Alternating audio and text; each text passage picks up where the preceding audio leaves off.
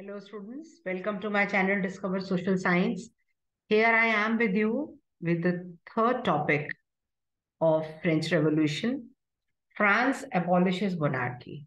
France कैसे last मैंने आपको बताया था कि कैसे पार्लियामेंट्री सिस्टम डेवलप हुआ और कैसे किंग जो है वो आंसरेबल हुआ पार्लियामेंट को अब फ्रांस में मोनार्की कैसे एबॉलिश हुई और कैसे वो रिपब्लिक बनी फ्रांस की सिचुएशन काफ़ी टेंस थी।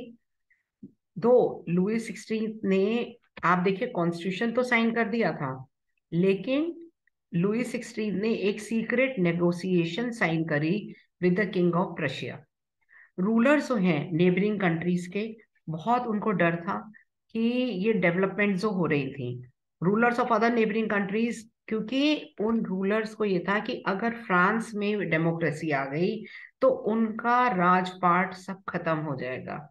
जितनी भी यूरोपियन कंट्रीज़ थी, उनके सबके रूलर्स को ये डर था। एंड इसीलिए फ्रांस के ये लुई सिक्सटीन ने इसीलिए रशिया के किंग के साथ एक नेगोशिएशन साइन करी।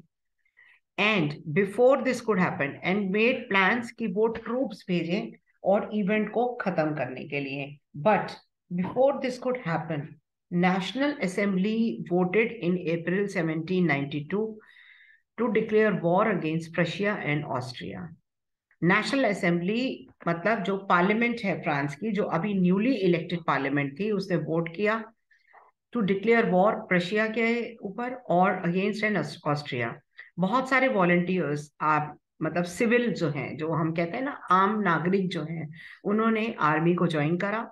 दे सॉ दिस कि ये वॉर जो है वो वॉर ऑफ़ द पीपल है against kings and among the patriotic आप देखिए, एक फीलिंग लाने के लिए नेशनलिज्म की यूनिट आप टेंथ में करेंगे आगे, और एट्थ में भी आपने पढ़ा होगा, ये पेट्रियोटिक सॉन्ग्स का एक बहुत बड़ा इसमें रोल होता है।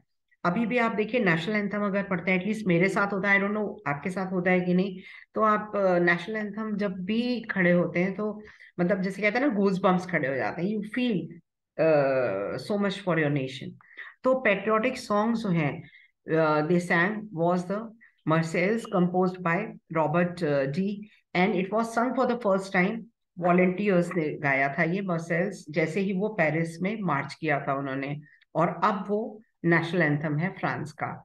रेवोल्यूशनरीज वॉर बहुत broad losses and economic difficulties जो ये रेवोल्यूशनरी वॉर थे, काफ़ी लॉस हुआ इकोनॉमिक डिफिकल्टीज भी हुई। मैन फ्रंट पे आर्मी की जैसे लड़ती है तो मैन फ्रंट पे लड़ाई करने गए थे। और जो विमेन हैं, वो घर के टास्क भी देख रही थी, पैसा भी अर्न कर रही थी। मैं ऑर्डनरी मिडिल क्लास फैमिलीज़ की विमेन की बात कर रही हूँ। लार्ज सेक्शन पॉपुलेशन का वो कन्विंस हो गया था दैट रेवोल्यूशन जो है, उसको फर्दर कैरी करना ज़रूरी है। Constitution of 1791 gave political rights only to rich section जैसे हमने पहले भी बात करी थी पॉलिटिकल क्लब स्टूडेंट्स के बहुत इंपॉर्टेंट है जैकोबिन क्लब थ्री मार्क्स में आता है it is very very very important political club जो हैं वो एक इंपॉर्टेंट रेलिंग पॉइंट बन गए थे, जो लोग गवर्नमेंट की पॉलिसीज़ को डिस्कस करना चाहते थे, उन्होंने अपने एक्शन फॉर्म किए। Most successful of this club was that of Jacobins और ये which got its name from the former convent of saint Jacob in Paris. Women भी एक्टिव थी, अपने, उन्होंने भी अपने क्लब्स फॉर्म किए थे, और उसके बारे में अभी आप आगे पढ़ेंगे विमेन के रोल के बारे में। मेंबर्स ऑफ़ जैकोबिन क्लब आप देखिए विमेन का रोल हर एक सोसाइटी में बहुत बहुत बहुत इंपॉर्टेंट रहा है। चाहे आप ये फ्रेंच रेवोल्यूशन की बात करें, चाहे आप वियतनाम की बात करें वियतनाम में भी विमेन का रोल बहुत इंपॉर्टेंट रहा है। चाहे आप इंडियन विमेन की बात करें। जब सिविल डिसोबीडियंस मूवमेंट के बारे में आप पढ़ेंगे टेंथ में, तब आपको उसके बारे में भी पता चलेगा। मेंबर्स थे जैकोबिन क्लब के ये मेनली लेस प्रोस्परस सेक्शन को बिलोंग करते थे।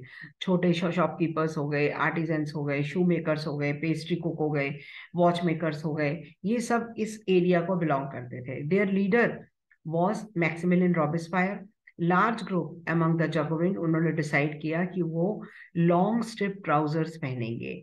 ये जैसे आप ये देखिए, इनके ट्राउजर्स हैं स्ट्रिप ट्राउजर्स हैं। और जो फैशनेबल सेक्शन से ये बिल्कुल डिफरेंट थे ये। नोबल से बिल्कुल डिफरेंट थे, जो नी ब्रीचेस पहनते थे only to show off and जो फीमेल थी and they wielded knee breeches these Jacobins they came to be known as इन्हीं को सेंट ल्यूटोस कहा जाने लगा था, जिसका फ्रेंच में मतलब है विदाउट नी ब्रीचेस कि वो ग्रुप जो नी ब्रीचेस नहीं पहनता, जो सोसाइटी का लेस प्रोस्परस सेक्शन है। And saint culottes men poor in addition red cap भी पहनते थे रेड कैप सिंबलाइज करती थी लिबर्टी को। In summer of 1792 Jacobin plan an insurrection of large number of Parisians जो पारसी के पेरिस के लोग थे तो जो जिनको बहुत ज़्यादा गुस्सा था, क्योंकि ब्रेड की सप्लाई फ़ूड की सप्लाई शॉर्टेज हो गई थी। 10 अगस्त की मॉर्निंग को they storm the palace of Tuileries massacre किया उन्होंने किंग के गार्ड को held the king himself as a hostage for several hours बाद में असेंबली ने वोट किया to present the royal family elections were held from now on all man of 21 years of age regardless कि उनके पास कितनी wealth है उन सबको राइट टू वोट मिल गया। लेकिन फीमेल को राइट टू वोट अभी नहीं, नहीं मिला था। ध्यान देने की बात है हम वो कंट्री की बात कर रहे हैं जो आज बहुत डेवलप कंट्री है। उस कंट्री में फीमेल को राइट टू वोट 200 साल के बाद मिला था। आगे टॉपिक आएगा, तब मैं बताऊँगी। न्यूली इलेक्टेड असेंबली उसको कन्वेंशन कहा जाने लगा on twenty first September seventeen it abolish the monarchy और फ्रांस को रिपब्लिक डिक्लेयर कर दिया गया। रिपब्लिक वो गवर्नमेंट है जिसके हेड ऑफ़ द स्टेट जो है पीपल इलेक्ट करते हैं। Republic is a form of government जिसके हेड ऑफ़ द स्टेट को इलेक्ट किया जाता है, लोग करते हैं। कोई हेरिडिटरी मोनार्क नहीं होता। Louis sixteen was sentence to death by a court on the charge of treason treason means धोखा कंट्री के साथ धोखा।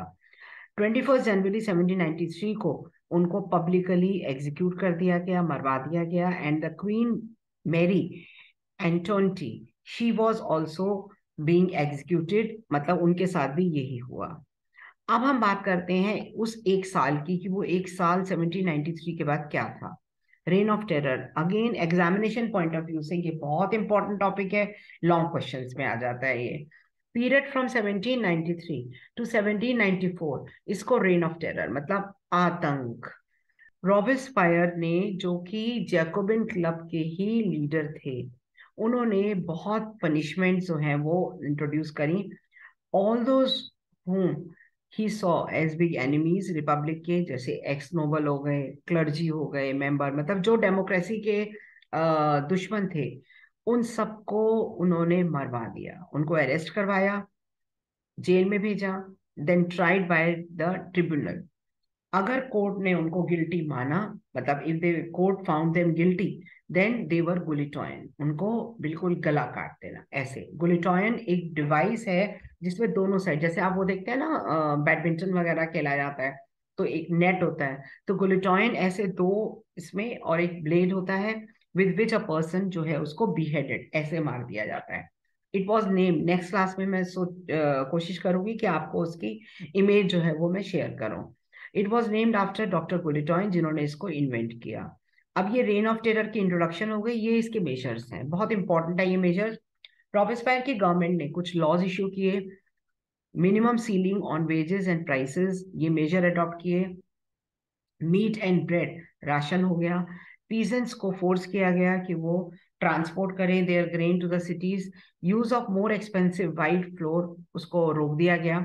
ऑल सिटीजन वर रिक्वायर्ड कि वो पेन इक्वालिटी ब्रेड जो है, वो खाएँ।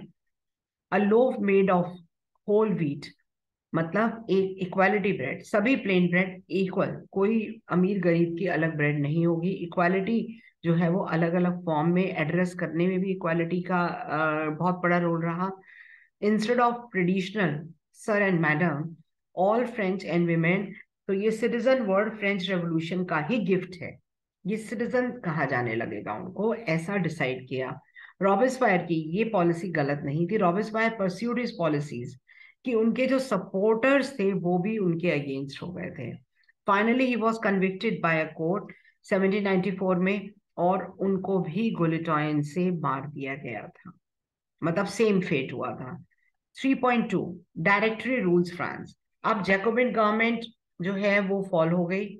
वेल्दी मिडिल क्लासेस ने पावर ले ली। वेल्दी मिडिल क्लासेस मतलब थर्ड एस्टेट के लोग थे। न्यू कॉन्स्टिट्यूशन इंट्रोड्यूस हुआ and our new constitution was introduced, which denied the vote to non property section. Again, जो गरीब मेल थे, उनको भी वोट नहीं देना दिया गया एंड एक डायरेक्टरी फॉर्म हुई, एक एग्जीक्यूटिव और फाइव मेंबर्स उसके साथ में कि वो गवर्नमेंट चलाएगी.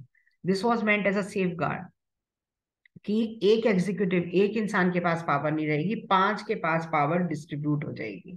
And the directors often clash with the legislative councils जो बाद में इन्होंने इसको डिस्कस कर दिया। Political instability of the directory pave the way for the rise of military dictator इसके बाद जो आए मतलब पहले आप देखिए लुई सिक्सटीन उनको हटाया रिपब्लिक फॉर्म हुई पार्लियामेंट फॉर्म हुई, उसके बाद में ये रॉबिस्पायर का रेन ऑफ़ टेरर फिर डायरेक्टरी आई थोड़े टाइम के लिए, और अब जो है वो नेपोलियन जो आप नेक्स्ट टॉपिक पढ़ेंगे, वो होगा नेपोलियन के बारे में। तो ये डायरेक्टरी रूल्स फ्रांस बहुत इंपॉर्टेंट टॉपिक नहीं है ये। Through all these changes in the form of government ideals of freedom and equality before law ये बहुत इंस्पायरिंग थे और पूरे यूरोप में ये पॉपुलर हो गए। तो स्टूडेंट्स प्लीज़ मेरा चैनल सब्सक्राइब करिएगा। मुझे पता है कि आपके एग्ज़ाम्स फास्ट अप्रोचिंग है, लेकिन अभी तक मैं टेंथ का कोर्स कंप्लीट करा था और अब मैं नाइन्थ का कर रही हूँ। I will try to move on with history only क्योंकि हिस्ट्री में आप लोग को ज़्यादा डिफिकल्टीज आ जाती हैं।